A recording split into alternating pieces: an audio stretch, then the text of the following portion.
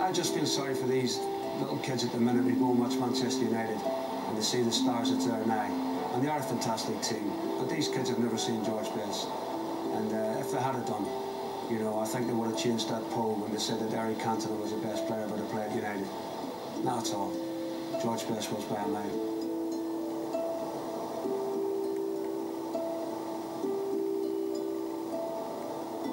I actually think I was the greatest player of all time. Didn't just play long enough at the top. Uh, but that's that, circumstances dictated that, you know, and I can't change it. And I, I was lucky. I had 11 great years, and it's 11 more than a lot of people.